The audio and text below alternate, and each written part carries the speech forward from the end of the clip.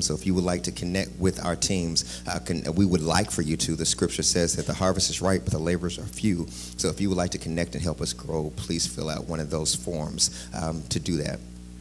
Mind Detox, um, we are in a series called Conversations with Me. And if there's anything I do know as far as media is concerned, is that everyone in media is telling a story. Um, the thing about the stories is that, that they tell is that everybody who tells a story is telling the truth. They're just telling the truth according to the lens of which they view it. They're telling the truth according to the network that they're on, according to the audience that they have, or whatever, but they're telling the truth whether that be Fox or whether that be NS, uh, MSNBC. And I want to give a shout out to our media and marketing team. Thank you for making our, our stage look the way that it does. And if some of you would like to connect with them to help us do more creative things, you can. But whether you're looking at Fox or CNN or whatever, everyone is hired to tell a story. And they all report a story according to the lens of which they have and um, they there's according to some audiences some more conservative some are more liberal. Um, it doesn't matter but they all tell these particular stories. Uh, that's media. Now you bring that into the social media sphere and you find out that everybody on social media is telling a story. And according to them the story that they tell is true. It's according to the lens of which they tell it and you just have to know the person that's telling the story before you believe it some people who post things on social media post them because they either have an audience or they post them because they need an audience. There's some people who post things on social media and they say things like, I'm lonely, I'm confused, I'm mad, or, or nobody loves me, and all these things. And many times it's because they don't have an audience and they want attention. They want someone to connect with them. Then there are some people who have an audience and they uh, connect with people because they're encouraging them or they're challenging them or whatever. So everybody, whether that be media or social media, is telling a story, and it's just according to the uh, lens of the person who's telling the story that you know what version of the truth you're hearing. If you watch CNN, you can hear one version from this person. If you watch Fox, you hear another person person saying the same story, but saying it completely different according to the lens, according to their, their personality, or according to the audience of which they have. There are some people who uh, there's one version of themselves on Facebook, then there's another version of themselves on Twitter, then there's another version of themselves on a private Instagram page. Then there's another version of themselves on Snapchat.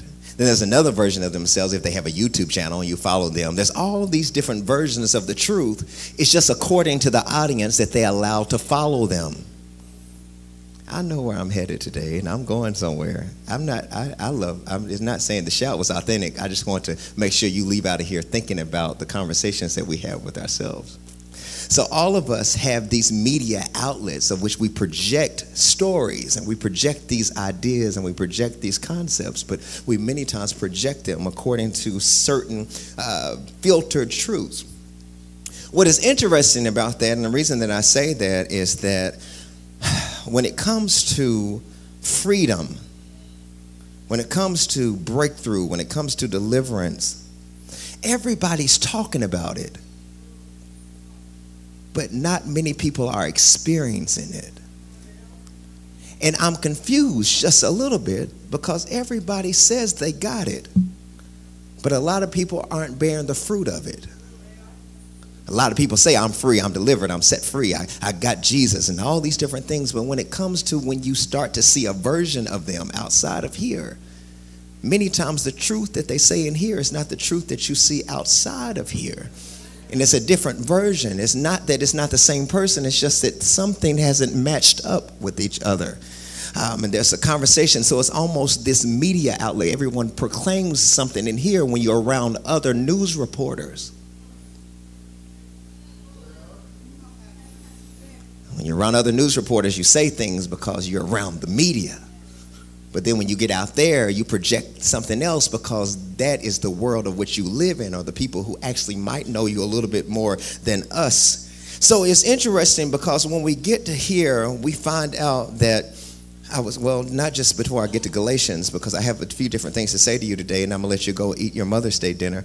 Uh, but it's so interesting to me because I was uh, looking at this week because I want to make sure that I did honor women today. But there's one particular person that was really sticking out to me, and her name is Harriet Tubman. And what I remember a particular line that Harriet said is she said, I have freed a thousand slaves but I would have freed a thousand more if only they knew that they were slaves. She said, I freed a thousand, but I would have freed a thousand more if they only knew that they were slaves. And then I was watching a few weeks ago, I was watching an episode on the, on the show Underground, which comes on WGN. And there was a whole 55 minute or 50 minute dialogue that, that, uh, that uh, Harriet had with the audience, and she was telling about herself. And in that line, she started to reflect on how she came to being the Moses that they now know her to be as a deliverer. And she said, I was trying to devise a plan to free my family on, on the plantation. We had walked it all out. We had talked all about it, about what we were going to do, when we were going to do it, and how far we were going to go, and how we were going to experience freedom we the day came for us to get off the plantation and we started our pursuit and we started running off the plantation. And while we were running off the plantation we got about a mile into the journey and my brother looked over at me and he said i can't go any further. I'm tired. I got to go back. He said this is not worth it. I can't do this. We got to go back. And she said do you want freedom he said, I do, but I don't want it that bad. I, I got to go. We, we, we got to go backward. And it says that he convinced the whole rest of the family to go back. And Harriet went back to the thing that she was bound to. And she said that day that she decided never to try to convince anybody else of a freedom they didn't want. The people she was trying to free was her family. And sometimes the people that are the most bound are those that are close, most closest to you. And she said, I wanted to free my family, but I couldn't even free them because they weren't willing to run the distance. And she said, Never again will I try to convince anybody else of freedom that they don't want for themselves. So it goes back to the line. She says that, that uh, I, I, freed a thousand, but I would have freed a thousand more if they knew that they were they knew that they were slaves. And then it goes on in here in this writer in Galatians, the fifth chapter, and verse one, he writes off. He said, "With freedom, for freedom, Christ has set you free." He says, "So don't be entangled again with the yoke." He said, "Christ has set you free. Stand firm and be not entangled again with the yoke of slavery or the yoke of bondage." One translation says. So he says, "For he said, For Christ has set you free. Now, for those of you who have never read the scripture before, he was saying, Christ has set you free on the cross. He's already done everything that needs to be done. You don't have to do it anymore. He's already done it. Christ did not come to do away with the law, but he came to fulfill the law. You don't have to do anything else. He says, so you are enjoying a freedom that you didn't pay for, but now you are trying, now you are getting into rituals and to things that you were never designed to get into. Now you are starting to ascribe rules to yourself, and now you're getting into legalism. And God never designed for you to do that because He has set you free. So don't start ascribing rules to yourself that you don't need. And I'm trying to bring this down for those of you who are still looking as if you're a deer staring in headlights and you're like, what in the world did he, is he talking about? I'm just talking about what I'm talking about. And here it is. He says that you have been free but since you are free, you don't have to start adding work to your freedom. You couldn't set yourself free, so I sent Christ to do what you couldn't do. So now you are putting yourself back in bondage by adding work to stay free. What is interesting to me about this, Diana, what is interesting is because I was reading this, Miss Judy, and I'm sitting here saying, Harriet was trying to free slaves, but she couldn't free them because they didn't know that they were slaves. Here it is, the writer is writing the Galatians, and he's saying, Stand firm in your freedom and I don't want you to go back to any yoke of bondage. And I'm saying, why is Harriet saying she could have freed more slaves, but they didn't know that they were slaves? And why is he writing? And why is he saying, stand fast and stand firm in your freedom and don't go back again? Why is he telling people not to go back into slavery if they really understood what their freedom was? And I was trying to figure out what was really going on with this. And I said, Lord, why do people shout but not experience deliverance? I said, Lord, why do people sitting in church and they don't like people? Why does people why do people speak in tongues before they forgive somebody? Why are people standing in unemployment offices and they're wanting a handout, but they don't give a hand down to anybody else? Why is the church so judgmental, Lord? What, what is going on with us? We, we have a good time on Sundays, but we don't do life very well. Why, why do we dress up to be so miserable? What, what is really. I've been asking this and I've been questioning God, and I'm like, Lord, I'm confused as to why we who are supposed to be the church are the most bound people that I know. Why is it that the people in the streets seem more happy than the people in the church? And why are the marriages in the world better than the marriages that are in the church? And why are the people living large and in charge in the street, but the people in the church are broke? What is the issue? Why do the pastor's children have to be the worst ones and everybody else is looking at the pastor's children and saying, why ain't they doing it? Why ain't they here? Why does everybody want to look at the speck in somebody else's eye but ignore the log in their eye? What is really going on with us? Why do people allow praise breaks to go on and worship opportunities and instead of us pressing in, we would rather look at it and critique it and say, I don't like it than to experience it? Why are we so bound. Why are we who are so spiritual yet so educated and our education causes us to miss you because we are so educated and we know the Greek and the Hebrew and we know the hermeneutics and the hermeneutics and we know all that stuff and it causes us to miss simple principles like love your neighbor as yourself. Why are we so deep but yet so shallow? Lord, what's the real issue? And I've been asking. I'm like, Lord, what is wrong with us? He said, detox. I said, what is detox about? And the definition of detox, if you put it up, the definition of detox is this it's a process or period of time in which one abstains from or rids the body of toxic or unhealthy substances it is the process or period of time of which one abstains from or rids the body of toxic or unhealthy substances. And I said, Well, Lord, what does that have to do with what I'm saying? What does that have to do with conversation with me? He said, A lot of people get free, but they never detox from where they came from. So people get in a new environment, but they didn't detox from the environment they came from. So you who were not educated now got your education and now you got educated and now you think you're better than the people who are not educated because you didn't detox. You didn't detox from a classroom environment, so now it's made you judgmental. So now you can't relate to your friends when you have your class reunion because you do have a little bit more education than the other people have because you have forgotten where you came from. I want you to look at someone and say, I didn't forget. I didn't forget. So he says here, he says, uh, Harriet says, I wanted to free some more people, but I couldn't free them because they didn't know that they were slaves. And then after that, he says, but but stand fast. He said, if Christ has set you free, don't be entangled again. And I said, Lord, well, what is the real issue? He said, it's the mind. It's the mind. The mind is messing us up. It's the mind that causes our feet to move, but our mind not to think. It is the mind that wants us to allow other people to do for us what we can actually do for ourselves. And I said, Lord, well, what is it that you would have for me to say to your people on this Mother's Day? Because it's going to go down in history. On Mother's Day, I heard a sermon talking about my mind.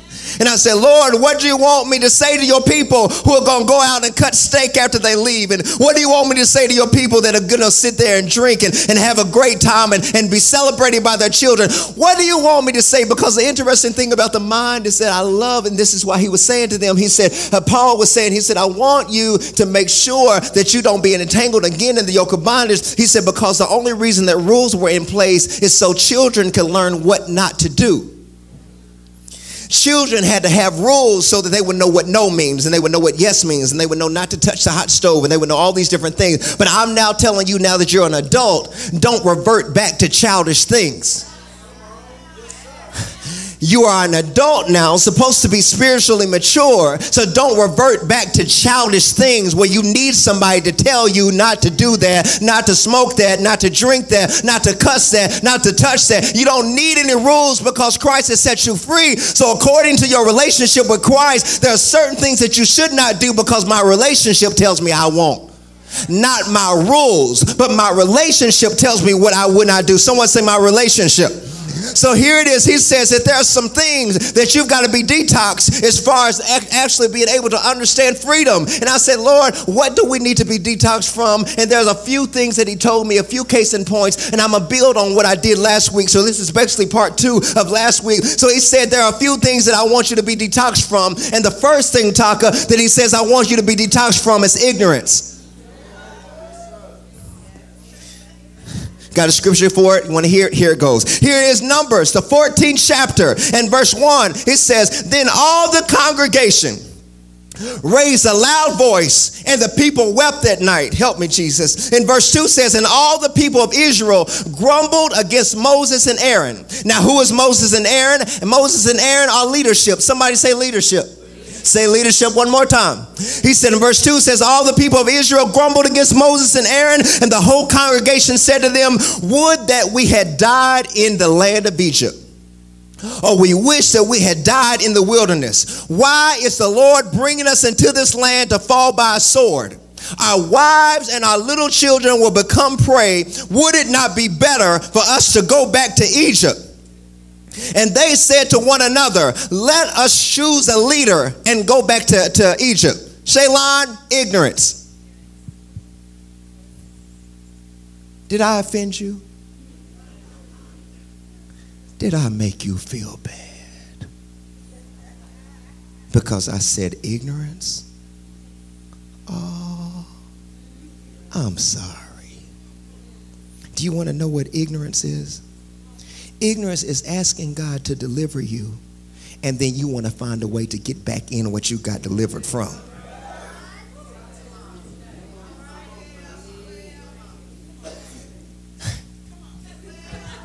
Happy Mother's Day. So here it is. These Israelites, these Egyptians, had asked God all their life for almost 400 years, Miss Bridget. For 400 years, they said, Lord, get us out of this. We want to be freed from bondage. We want to be freed from slavery.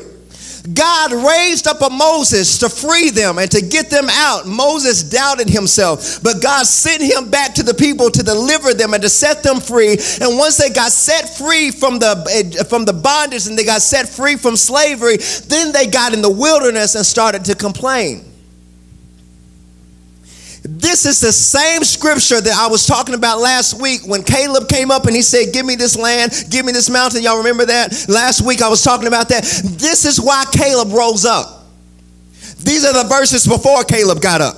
He said, These people, we all asked God to deliver us. Now God has delivered us, and now we're out here in transition complaining. Because what happens is, this is where Harriet Tubman comes in. I'm going to help you with your mind. This was ignorance. This is what happened. She said, I could not free a thousand more because they didn't know they were free. Why did they not know they were free? Because many people want to be delivered. But then to see the thing about bondage is that when you're in bondage, you don't have to think for yourself. When you're in bondage and you're in captivity, somebody else tells you what to do. When you're in jail, they tell you when you eat. They tell you when you get up.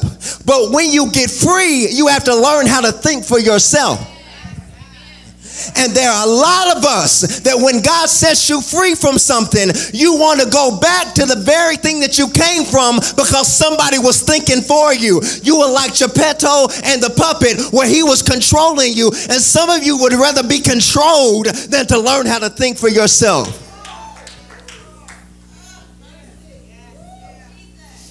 So he got out. They got out. But when they got out of the wilderness, it, they found out that they had to start thinking for themselves and they had to start depending on themselves and they started to act ignorant.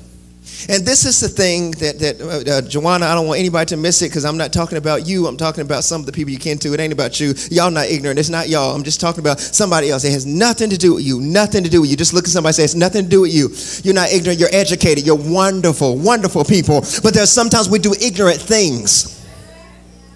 It ain't you. We do ignorant things. Here it is that these spies had come back. This is why the people rose up. These spies had come back from the land.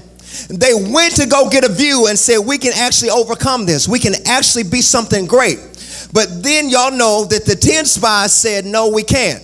But two people, Caleb and Joshua, said this last week. Caleb and Joshua said, Yes, I went too, and we can overcome it. And y'all know what Caleb did? That was last week. If you missed it, get the podcast. You can find it, or get on YouTube. You can find it too. He said, I, I, I believe we can overcome this. But 10 other people said, No, we can't. And they believe the majority versus the minority. And there are many of us right now who are in the situation we're in is because majority of your friends are wrong. And the minority of your friends that are right, you don't like them.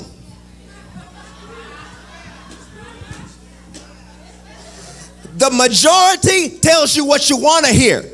The minority tells you your stuff stinks, and you be like, I don't know why they acting strange about me. They not acting strange, they just telling you the truth.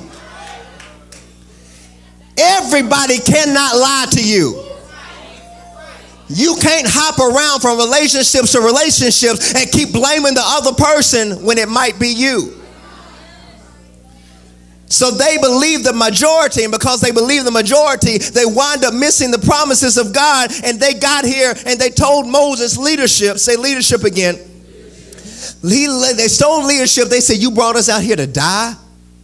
You brought us out here to struggle it would be best for this is this is what bothered me, Pastor Guillaume. This is what bothered me, Corey. This is what bothered me. It might not bother y'all, but it's just stuck out to me. And I was like, oh my God, this is so ignorant. This is what was ignorant to me is that they said, You brought us out here to die. Then they looked at each other, Rock, and they said, We need to find a leader that can take us back. Y'all missed it. They got there in the wilderness. Then they said to they, they spoke against leadership. And then they said to each other, we need to find somebody that can take us back where we came from. Now, this is what's ignorant about that. This is what's ignorant. You mean to tell me you had a leader to take you out of bondage, but now you need a leader to take you back because you don't even know how to go back. You don't even know how to get back into what you got delivered from, so you need a new leader to take you back to bondage. Ignorance. Do y'all hear the words that are coming out of my mouth? He said, You asked the Lord to deliver you. You got delivered. You had a leader for that. Now you want a leader to go back? Leader means influence. So now I, I needed somebody to influence me that I could experience better. Now I need somebody to influence me to tell me that the better I have ain't for me. Now I need somebody to influence me to take me back to the bondage that I was in because it was better. Ignorance. How do you need a leader to teach you how to do wrong? Lord have mercy. How do you need a leader to be able to teach you how to go back to what you got delivered from? What that means is, Kendra, is that he said, a leader sets you free. Guillaume, he said, a leader sets you free. trying to make this make sense. A leader sets you free. You didn't do anything to be set free. But in order to go back to bondage, you're going to have to work to do that. Do you know that the misery that some of you are in, you are working to stay there? The depression that you're dealing with, and some of you say, well, it's just that time in the month. It's not that time in the month, it's your time of mind. Sometimes we blame stuff. We blame stuff that we don't want to take ownership for. It's better for me to blame it on somebody else than for me to take ownership of it myself and say it's not Aaron, it's not Moses, it's me. So they got out there and they wanted a leader to take them back. That's ignorance. And I, don't know who I'm talking to today, but there's ignorance for you to be able to get to the point where you got set free, got delivered, and then want to go back. He said you got to be detoxed from ignorance. The second thing you got to be detoxed from is illusions. Happy Mother's Day. You got delivered from ignorance. Next thing you got to be delivered from uh, from illusions. I got a scripture for it. You want to hear it? Here it goes. Here it is, Exodus, the 16th chapter, verse 2 through 3. And then it says, the whole congregation of the people of Israel, they grumbled against Moses and Aaron in the wilderness. And the people of Israel said to them, We wish, here they go again, we wish that we had died by the hand of the Lord in Egypt because what, this is the Lord, the Bible is funny to me. It may not be funny, y'all. He says, We had died by the hand of the Lord in Egypt. I wish we were there. Jeff, hear this. He says, Because when we were in Egypt, we had meat pots, we ate bread to the full, and now you brought us out here to the wilderness to be hungry. Ooh, Lord have mercy. I'm telling you, I am a comedian. God, you are funny. This is so funny to me because it is interesting to me is that when we get out of a situation, all of a sudden what you came out of looks better than what you in. The illusion was, the illusion, the illusion they shine, this is illusion. He said, We're out here in the wilderness, we're hungry. We don't know where our food is going to come from, but at least we were in bondage, we had food. At least when we were in Egypt, we had food to eat. So you mean to tell me that being oppressed and being fed by your oppressor, it sounds better to you than you depending on God? Lord Jesus, help me today. I preach this better in my mind than I am today. I promise you. I wish my, my mind, the Eminem, I wish the real Mario would please stand up. Please stand up. I'm telling y'all, some of you all right now, the illusion is that some of what you were in seems better than what the transition that you're in right now. I'll break it to your home. I'm, i make it more make it more sense to you. There's some of you who are now in this season of life right now where God is teaching you stuff. But there are some of you who said, well, I wish I were back at the church I was at because at least the choir had more members than we do here.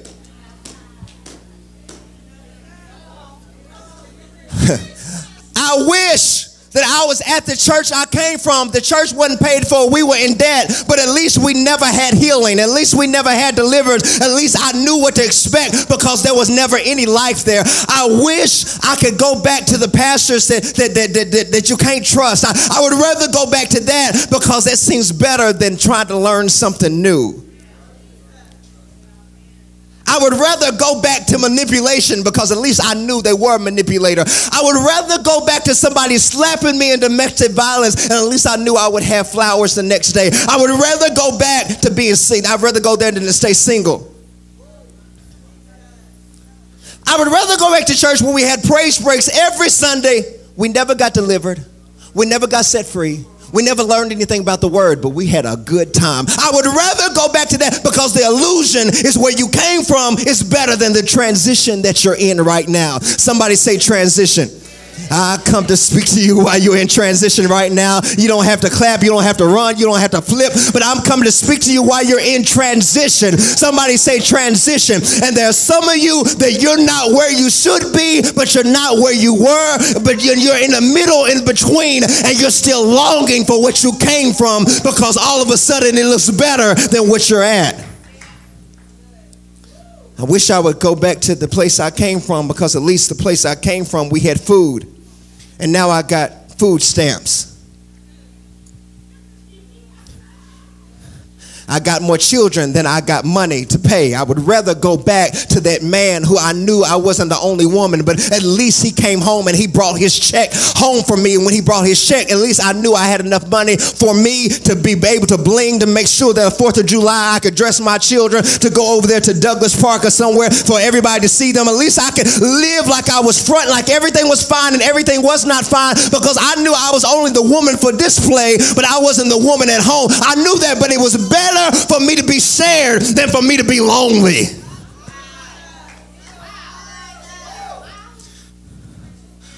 I'd rather go back to the church where I knew that the pastor was not going to challenge me. He only preached 20 minutes, and I knew what he was going to say before he said it. And I knew after he got through reading his manuscript, then the organ was going to come in. They were like, huh? Whoa, yes. Friday he died, but he didn't stay there. He stayed there all night Friday, but he, then he stayed there Saturday, but he didn't stay there because early did you hear me, church? I said early, early, early. And if they were really good, eh, eh, eh, early. I would rather go back to predictable church than to be in a church that makes me feel uncomfortable because God challenges my mind. I I would rather go back to flaky musicians than to sit here and have to depend on a two piece. I would rather go to a church that has a five piece uh, band and they can make us feel good while we in Egypt. I'd rather stay in Egypt because at least I was full. Full on nothing, but full taken care of. Am I talking to anybody today? Is there anybody that sometimes you get, and I'm not talking to you all because I haven't experienced it, that I have been in transition points in my life. And when you're in transition, sometimes you make ignorant decisions because of the illusions that you believe.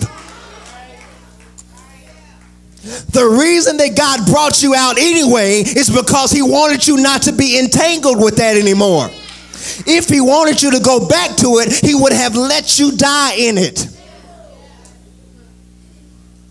And there are a lot of us, it's hard for us to unlearn what we've learned. Egypt was easier for me than kingdom. Church talk is easier for me than kingdom. Y'all like, what is kingdom? I'm talking about things that are higher than yours. Kingdom is when somebody slaps your right cheek, you turn your other cheek. Kingdom is when you know what somebody did, you know what they say, but you still pray healing over their life. That's kingdom. That's not church. But some of you know church. When you do me wrong, I do you wrong. And that's called street. That's not called church.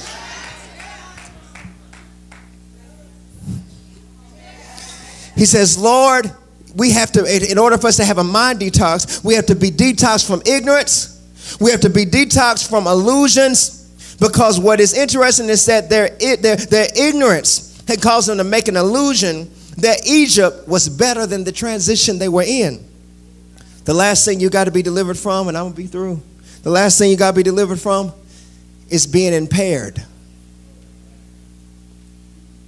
You got to be, got to be detoxed from, from uh, you got to be detoxed from ignorance. You got to be detoxed from illusions. And lastly, you got to be detoxed from being impaired. What is impaired? I got a scripture for it. Here it goes. Uh, Exodus, the 14th chapter, verse 12. And it says this, Quan, you can come on. I told you, I'm not, I'm, this is Mother's Day sermon. I can't keep them all day because their stomachs are rumbling because, you know, Egypt is a little bit better than what I'm feeding right now. So in verse 12, it says, It's not this what we said to you in Egypt? Leave us alone that we can serve the Egyptians? For we, it would have been better for us to serve the Egyptians than to die in the wilderness. Did not we tell you we didn't want to be delivered? Did I not tell you that I like my stuff stinking? Did I not tell you that I like church messed up like this? Did I not tell you that this is what I'm used to? And you did not leave me where I was and you kept pulling me to Jesus and I said, I don't want him, I want church. Didn't I tell you that I like the traditional churches? Because at least they don't change. Did I not tell you that Lexington is a traditional city? Did I not tell you that the pastors don't pray, they just preach? Did I not tell you not to stir up my marriage and tell me to start getting myself together? Why did you tell me to get married? I like living together, it was more convenient.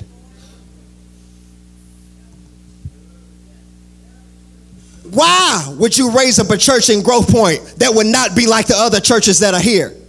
We were doing just fine before you got here. We were doing just fine until you start messing with my mind. Did I not tell you to leave me in Egypt? My church was historic. We had guest preachers that came in that took the money but never changed us.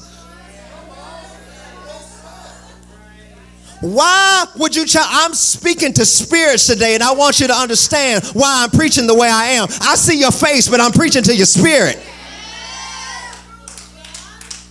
I understand the spirit and the warfare that is going on in this city, that nobody wants to change, keep it the same. Dress nice, look nice, shout nice, have a good choir, but don't change. Keep it the same way. I don't know what you come to do. I don't know what you come do. And you don't do nothing. Have flyers, have conferences, invite everybody in. We're not going to change. We just like to be entertained. Did I not tell you that that's what Lexington was about? Did I not tell you that as soon as you started to, uh, Guillaume, Pastor Guillaume told me this other day, and my wife, we were talking about this, and, and, and they were telling me, and some people right now in the church are a little upset right now because a lot of pastors in the city are talking about me and saying a whole bunch of stuff about me. A lot of people said that the reason that I, I had all this stuff and the reason I had Singleton on my back is because I struggle with homosexuality anyway, and they ain't out of me. My wife don't know I'm actually gay and all this stuff. And I, y'all, y'all all that stuff. No, no. Please, no. I know it's all right. But what I'm saying to you today is this one thing. The reason that they're talking is because everything was okay until you start stirring up stuff.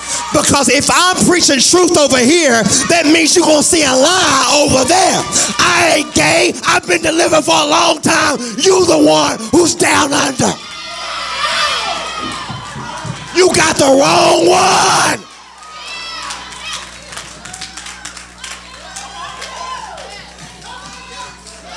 Do you know how many people walk around me, me and my wife, and they waiting for the truth to come out? The truth is out. Look at me. I am bona fide. I am certified. I love me a good woman. Now tweet it.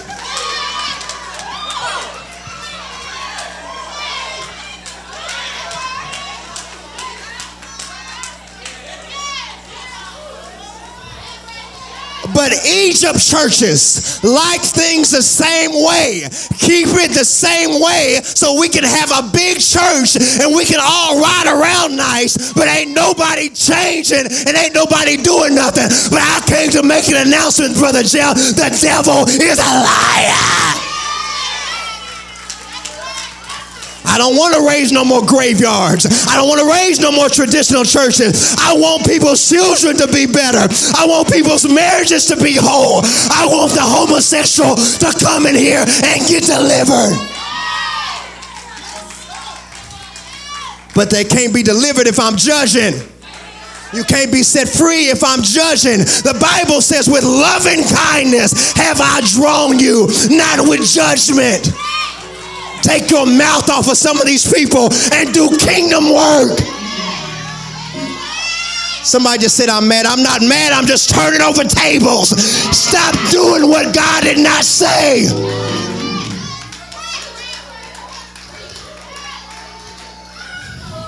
Now that's real church. Real church is when you go into the city and you say, Take your mouth off of my uncle. My uncle's gonna put down the bottle eventually. My uncle's gonna stop smoking eventually. You stop judging him and help him. Uh, excuse me. Excuse me. tired. Harriet said, I would have freed a thousand more if they knew they were only slaves. And I'm sitting here, I am tired of going to people's churches in Lexington and everybody's enslaved. Everybody's sitting here, everybody's sitting there talking about and going through the motions. By and by, Lord, when the morning comes, when all the everything's always in the far distant future. Soon will be done with the troubles of the world. Everything's always talking about what I will have, but nobody's teaching about what I can have right now. I don't want to keep shouting about the breakthrough I can't have. I can have breakthrough right now. Look at somebody say, I can have it right now.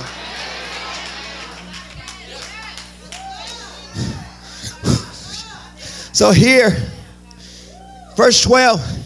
They were sitting there and they said, Leave us alone that we may serve Egyptians, for it would have been better for us to stay in the wilderness. And he said, You got to be detached from being impaired. Now, what does being impaired means? Impaired means being damaged. Because when you're damaged, you are paralyzed. And one thing that faith is not, Pastor Cummings, is that faith is not paralyzed. Faith is a substance of things hoped for, and is the evidence of things not seen. Faith is not paralyzed, but there are some of you who you are seeing through impaired lenses. That's why they give people glasses because your, your vision is impaired. And when your vision is impaired, you can't see right. Impairment means damage. There's certain parts of my eyes that are damaged, that are prohibiting, that are prohibiting me from seeing clearly. And there are some of you who God has an assignment for your life, but you cannot see clearly because your vision is impaired. What does impaired mean? It means I don't trust people. What does impaired mean? I can't connect with this church because I don't trust it yet. What does being impaired means? I cannot serve because the last place I served looked over me. I cannot get involved because if you find out how nasty I really am, you won't want to use me. Impaired. I can't give to the church because I don't trust the last church I was at. I gave all my money and they didn't do nothing with it, but just but we changed locations 15 times and we still ain't got nothing to show for it. Impaired. Somebody say impaired. That means I was damaged somewhere. And I don't know who I'm talking to today that's been damaged by somebody. I, my assignment, my assignment is not to make you happy in Egypt. There are plenty of churches I could point you to where they're having a great time celebrating graveyards. Everything's still the same. My assignment is to make sure that you deal with your impairment. So here in verse 13, Moses said to the people, he said, your vision is, your vision is impaired. He said, you've got to be delivered from being damaged. You can't operate being damaged. When you start being damaged, you start looking at people strange. When you're damaged, you start critiquing people. When you're damaged, you start judging people. When you're damaging people, when you're damaged, you damage other people because when you're hurt, you hurt other people. People are trying to get close to you and people are trying to love you, but you won't let them love you because you're so damaged. And there's some of you who you are more than what you're settling for, but you can't believe it because you're so damaged. Is this helping anybody?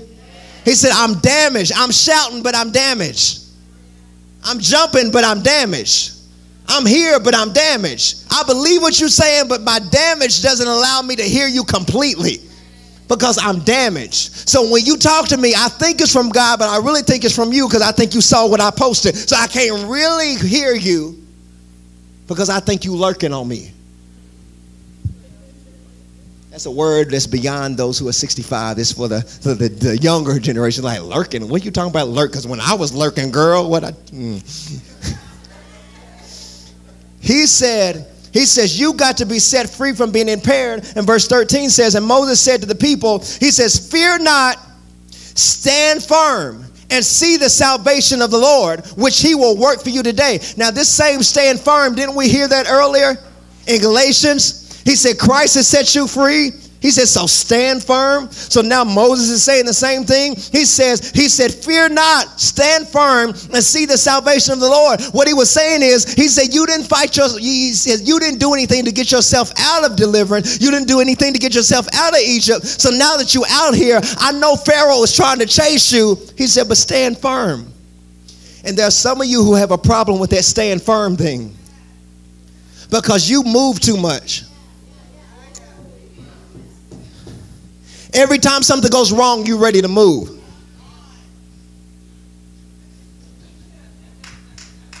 Every time somebody does something that's questionable, you're ready to drop out and stop. I ain't got time for this. I ain't gonna do this and all this stuff because you're in transition. And he says, stand still, which means you don't have to fight. This is the thing, Joanna, that I don't want anybody to miss. He says, stand still, stand firm, see the salvation of the Lord, which the Lord will work for you. He said, for the Egyptians that you see today, you won't see them again. This is the last part. Verse 14 says, The Lord will fight for you. But here, all you got to do is be silent. Claudia, I'm preaching better than these hats are looking. I know I am. He said, they look good. He said, Stand still, for the Egyptians that you see today, you're not going to see them anymore. What that means, Brother Matt, is, is that those of you who are fighting something and something is trying to chase you, he said, if you stop fighting it and stand still and be quiet, you'll see the salvation of the Lord. You'll see the deliverance of the Lord, but you've got to be quiet. Someone say, be quiet. And there's some of you who don't like to be quiet because you got so much to say, your mouth is getting you in trouble. Put a muzzle on it. When somebody tries to say something, like what you saying? You need to put a muzzle on it and let God fight for you. The Lord will fight for you if you be quiet. He says, What's chasing you will be handled if you take your hand off of it. Stand still and see the salvation of the Lord. Another scripture says, He says, For the battle is not yours, it's the Lord's. And there are some of you right now that you're in transition and you're in a spot, but because you're impaired and your vision is the way that it is, you think that God's calling you to fight when actually God's calling you to be quiet. I know what the report is, and I know what the doctor said, but the word for the Lord is today is be quiet. Stop talking so much, not even to other people. Stop talking to yourself. Some of you are saying stuff to yourself that's not even true and you have made an illusion in the midst of a wilderness and God's saying your vision is impaired because you start making ignorant decisions and you did ignorant things. Now you got these illusions and now your vision is impaired and you can't see me because you're so impaired and so damaged. But somebody lift your hands and say God heal my vision Somebody say it again. God, heal my vision. I want you to holler out loud and say, God, heal my vision. God, I want to see what you want me to see. God, I want to be what you want me to be. God, I want to operate the way you want me to operate. I want to have good relationships with my brothers. I want to have good relationships with my sister. God, heal my vision. Somebody say it again. God, heal my vision. If you would allow God to heal you, you can be all that He would have for you to be. If you would allow God to heal you, you can trust again. If you would allow God to heal you, you will be able to witness to people, but you can't witness to people that you don't trust. Say, God, heal my vision. Tired of being impaired. Tired of walking around limping. Tired of walking around not trusting. I'm tired of the same old stuff that was in Egypt. I can't be damaged no more. If I stand still and see the salvation of the Lord, will you stand to your feet all over the building? I want you to look at a few people and say, Be healed. Look at a few other people and say, Be healed. I don't know what you need healing from. I don't know what it is that you need today, and I don't know where it is that you are.